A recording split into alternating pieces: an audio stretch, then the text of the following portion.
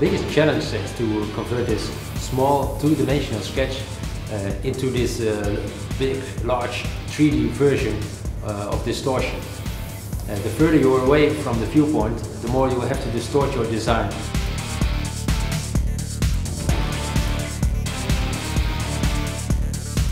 Uh, depending on the area, I use uh, paints or chalk. Uh, some tape and a string is mostly enough for me to, to get the right anamorphic effect.